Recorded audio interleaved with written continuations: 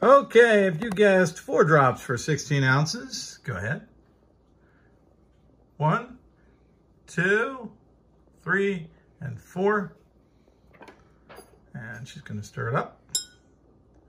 Ooh, look at that. Let's see, let's get it so we can, apples to apples. I'm looking at the bottom, the color seems about right. Hold a piece of paper behind it.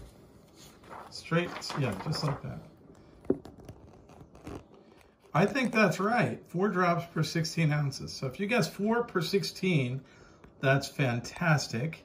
Let's see what happens when we go less than that.